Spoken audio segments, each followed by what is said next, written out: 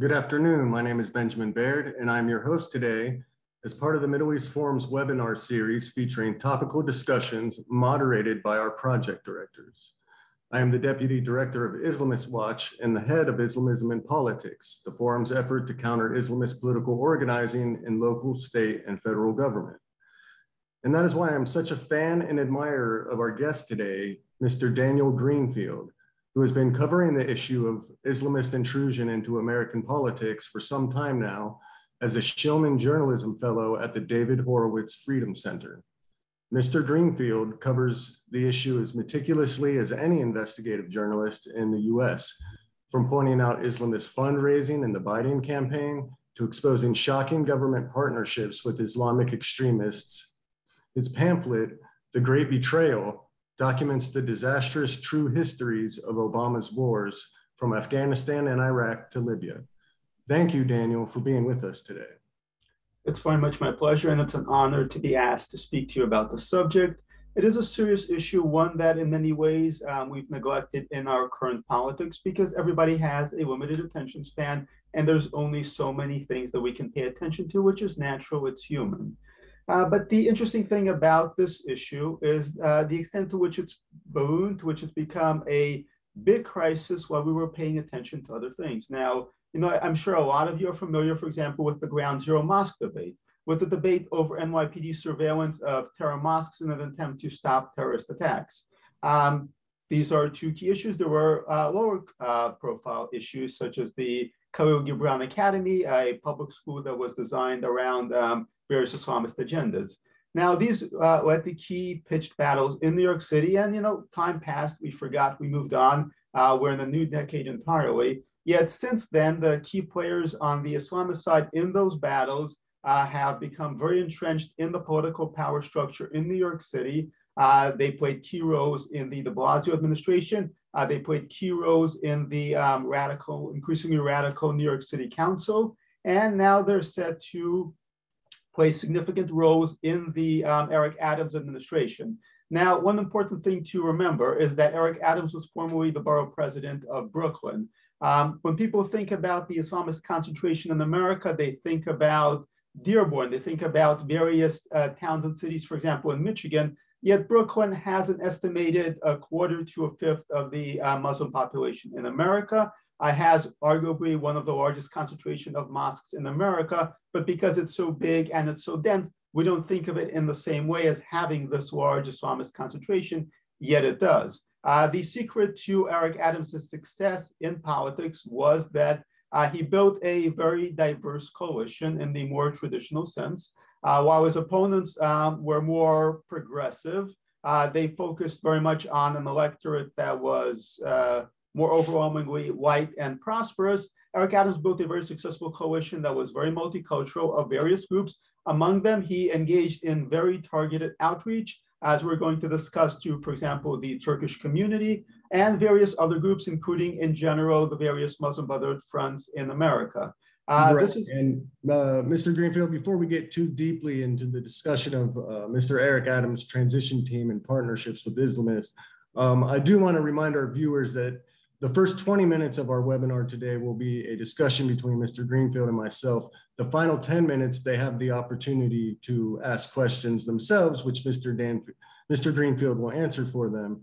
Um, you can do that by leaving your questions in the Q&A box uh, below. I do apologize in advance if we don't get to them all, but we will certainly try to.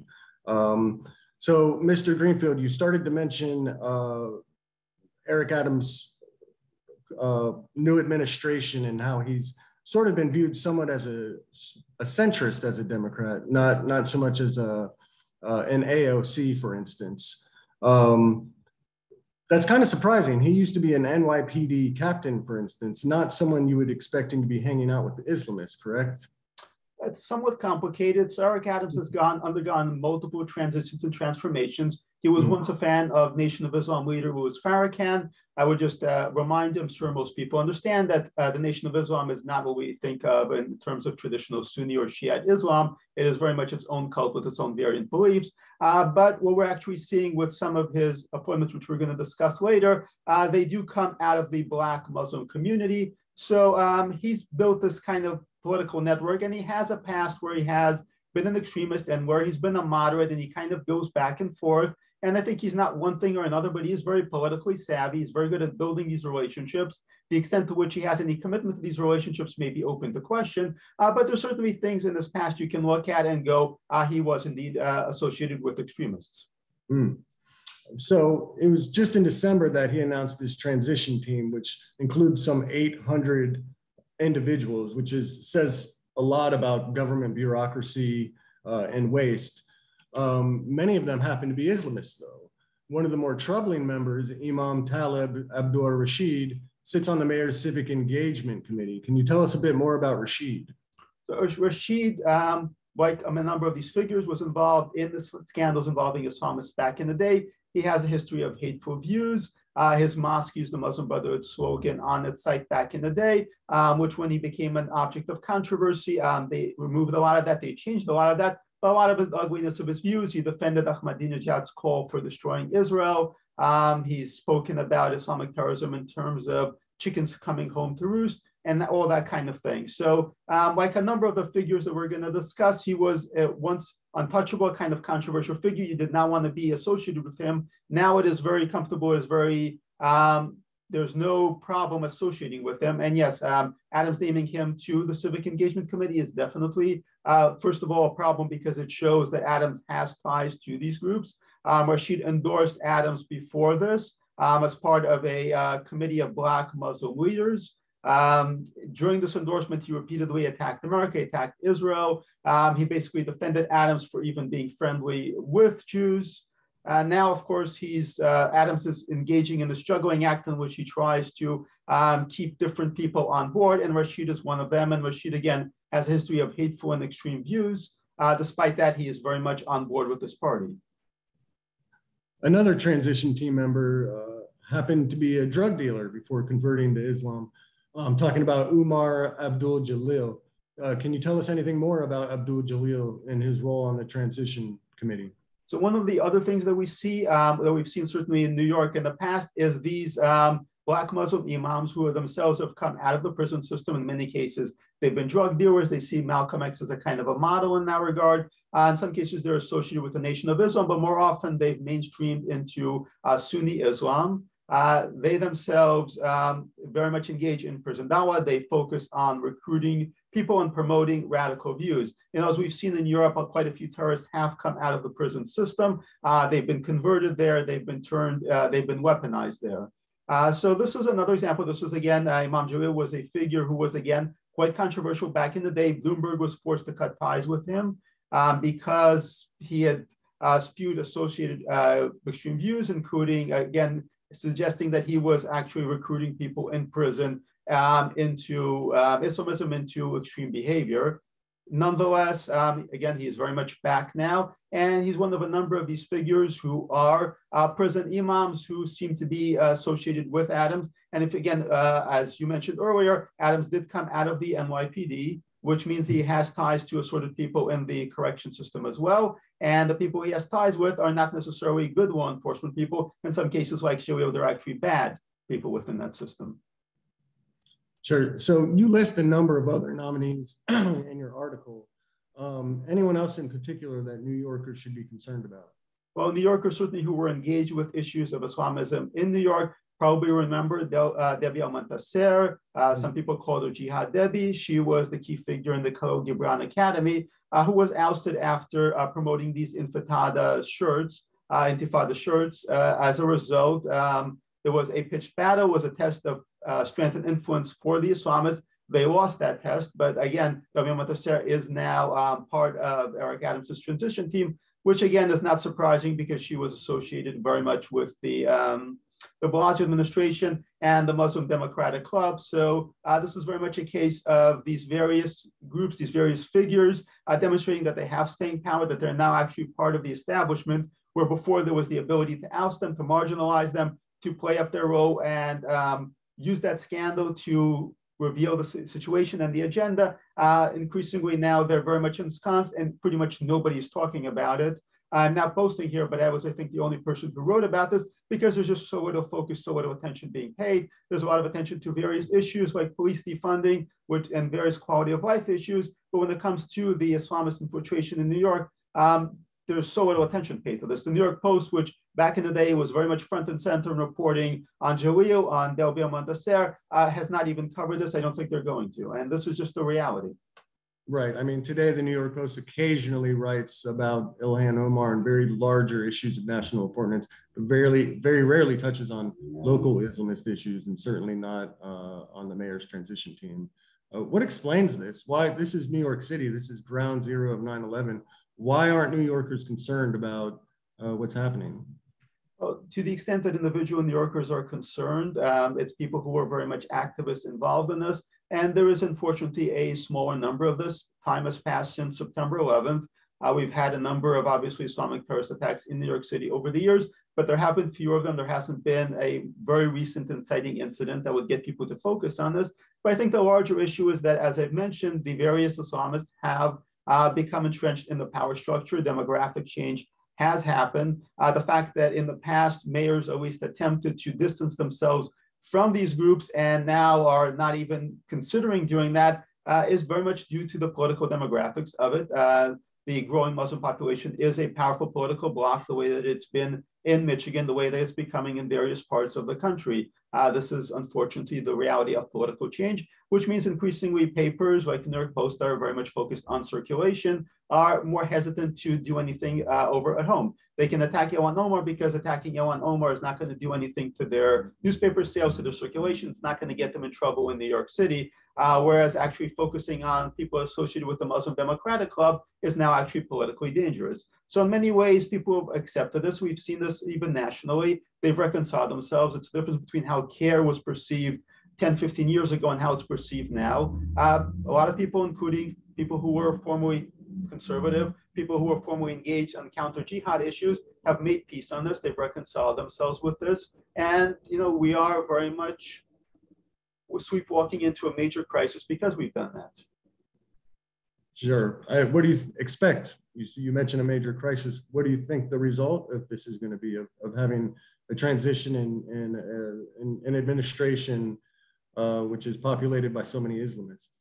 So any, certainly anyone who was expecting that Eric Adams' administration would mean a shift away uh, from the kinds of positions that the, the Boss administration took, uh, the suppression of, I mean, the NYPD once in the once upon a time was the gold standard for the police um, surveillance for counterterrorism operations. They were quite good. They were in some ways better than the FBI was. Under de Blasio, that has been unfortunately very much trashed. I know people who were part of the NYPD's intelligence operation who are who left, who went anywhere else but there because life was just unworkable there. The NYPD is not allowed to do the kind of serious terrorism prevention that it was able to do in the past. Uh, because again, the political association was very much associated with people, whom some of whom I mentioned, others who were part of de Blasio administration. Uh, the signal here is these people are going to be part, and they're going to be engaged with the Adams administration, which means expecting the NYPD to be empowered to do anything about terrorism um, is very much unlikely unless there is actually a major attack, in which case Adams may temporarily pivot. Uh, but the fact that these people are in his inner circle suggests that the pivot is not going to be significant. It's not going to be lasting. It's not going to endure. Uh, beyond that, obviously, we are increasingly moving to a European kind of situation where mm-hmm. there is a growing population that is uh, the harbors uh, violence and at the same time is very politically involved, politically engaged. Um, there were in the past various um, Muslim uh, groups that were set up to be moderate. Uh, those groups have very much been marginalized. Those people are not showing up in the transition team. Uh, the people who are showing up are the people who are tied to the Muslim Brotherhood, to various Islamists, which means, again, that going forward, these are the people who are going to be representing Muslims in New York. They're going to be setting policy. And obviously, just having them, uh, giving them the ability to set policy in New York means that they're going to have influence nationally uh, because politicians who are uh, in New York State uh, very much turned to New York City. And, and nationally, while New York is not that significant in presidential elections, it plays a major role in finance. And a lot of the Democrat leadership, some of the Republican leadership actually come through there. So this is a trend, something uh, that New York is going to pioneer and the rest of the country is going to experience in coming years as the Islamist population, certainly the Muslim population grows in this country. Now, a good way to look at it is that we were what we were seeing in Michigan in terms of Islamist influence is now New York, um, and that's going to continue onward. It's going to continue. Uh, New York took longer uh, to gain a foothold on just because of its complexity, its diversity, its sheer huge population. But uh, gaining that kind of center of influence is significant, and it shows that other centers of influence will follow. Where will those centers of influence, to the to the best of your estimate, be in America? Where where's the next Islamist hotspot? Well, we're certainly going to see. We are seeing plenty of activity in um, the Bay Area and Los Angeles. Um, but it's not the same level of power and influence that we're actually now seeing in New York City, but it is developing, and I think we're going to see that more and more uh, especially as we see the next wave of migration coming out of Afghanistan. We've seen this in the past where there's a crisis, uh, there's an influx of population. Uh, we saw that with Somalis. Uh, we're going to begin seeing that with Syrians. We're going to see this with Afghans in the future. Uh, once you actually create this crisis, you use it to um, explore demographic change, and then you can create this new generation of political leaders who now have a great deal of influence. Now, in New York City, a number of these people are um, Black Muslims who have come through the prison system, but they're also Palestinians, there are Syrians, there are Egyptians. Um, they're all playing a significant role in New York City politics. There are sizable now Pakistani and Bangladeshi communities. So we are going to see um, political change as a result of that. Now, political change will basically cripple counterterrorism. It will lead to um, violence, particularly anti-Semitic violence, as part of the process. Mm. Yeah, I mean, New York is stands out because many other communities across the country, like Chicago, it's known for its Little Palestine. Uh, you have a strong Yemeni and Bangladeshi community uh, in Dearborn and Hamtramck, Michigan. Uh, Somali community, of course, in Minneapolis and Columbus, Ohio. Uh, New York, though, uh, is just a hodgepodge of Islamists from all over the world, bringing all of their value systems with them. Um, is that a unique challenge that New York faces, uh, having so many different national ethnic identities there? So in the past, as you've said, um, a lot of the targets for Islamist migration was these post-industrial areas. Um, in America, it's the Rust Belt. In the mm. UK, you have places like Manchester, people, uh, cities that had an industrial base and then became economically depressed. Those were very easy to take over. So Michigan was a major starting point back in the day. Uh, they were very useful. Um, taking over major cities that are more thriving, more vibrant, more diverse, more heavily populated is much more of a challenge. And with New York City, we're seeing that they are able to do that just as they were able to exercise a good deal of influence in London. I think London is actually a very good model for what's happening in New York City. Um, I think within the next decade, we will probably see a Muslim mayor, and he will very probably be tied to various Islamist groups, uh, which will itself be a sea change. So where are the pockets of Islamist influence in New York City itself? I know there's Sunset Park, Bay Ridge. Um, anywhere else that you're aware of where there seems to be a strong Islamist presence?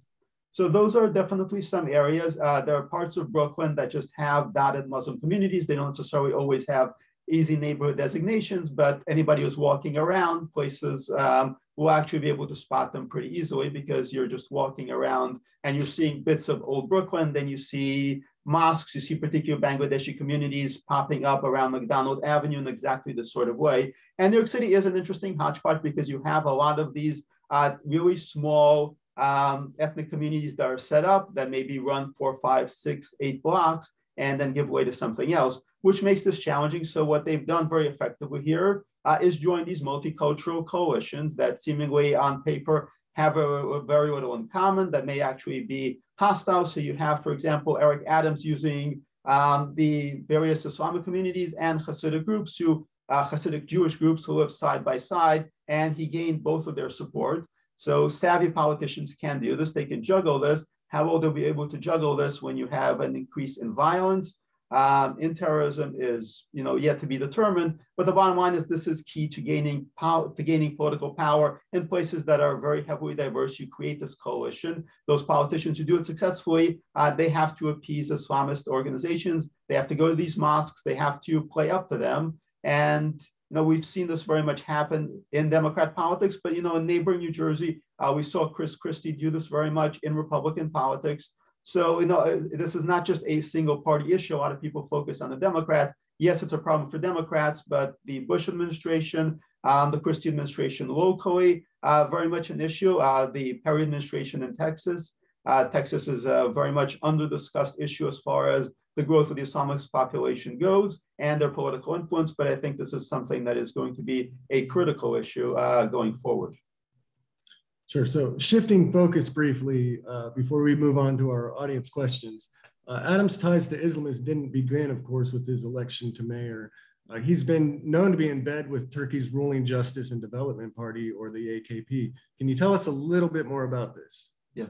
So as I began earlier, uh, the um, really these this entanglement very much is connected to Eric Adams's role as Brooklyn Borough president. To get the Brooklyn Borough president, he had to form these Islamist alliances. Um, he had to form alliances with those a variety of groups. One of those was the Turkish community, which is on paper a very strange alliance. The Turkish community in New York is there, but it's not that huge. But at the same time, he's gotten uh, money financing from Turkish businessmen. They've held fundraisers for him. Some of those businessmen have ties to um, the Erdogan regime uh, in Turkey. Uh, the Turkish regime has paid for him to come to Turkey a number of times on tours. Uh, he's talked of Turkey quite a bit. This actually offended the um, Greek community in, Amer- in uh, New York. The Armenian community has not been very happy with this.